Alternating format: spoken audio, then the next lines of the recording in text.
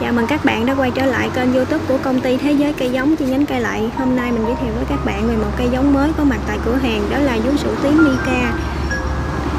Tên Mika thì bắt nguồn từ chữ Mi có nghĩa là Milwood và chữ K có nghĩa là cái mơn nha. Một cây giống mới, độc lạ ở cái mơn. Và đã được ờ, công nhận là cây đầu dòng vào đầu năm 2020 này nhé. Một cây giống hoàn toàn mới luôn này chúng ta cùng xem ngoài hình ảnh về cây giống này nha.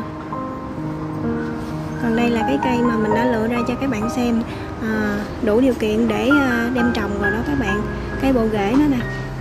Mình sẽ quay gần cho các bạn xem bộ rễ nó đã dài rồi đã lú ra khỏi à, bầu luôn. Bộ rễ có còn còn trắng luôn nè các bạn rễ non luôn á.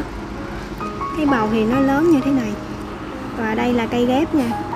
Từ khi trồng đến à, khoảng 2 tháng sau thì chúng ta có thể cắt bỏ cái dây à, dây ghép xanh này nha cây quấn xanh này. À, tại để cho nó cây không bị xiết á. Tuy nhiên khi chúng ta cắt ra các dây quấn thì hạn chế tưới nước lên cái mắt ghép nha các bạn. Đây là bộ lá của nó nè. Lá của nó có phần nhạt hơn vú sữa lò rèn à, cái vú sữa lò rèn nổi tiếng ở Vĩnh Kim đó mình sẽ giới thiệu với các bạn vào những đoạn video lần sau. Đây cây giống của nó.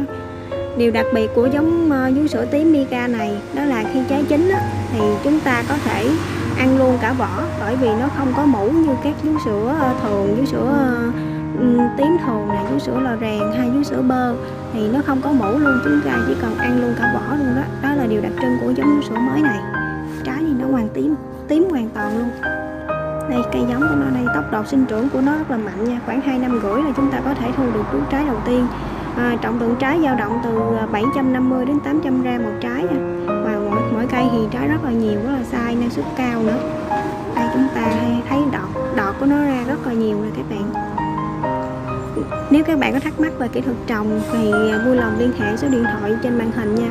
À, bên mình sẽ có kỹ thuật tư vấn tận tình cho các bạn.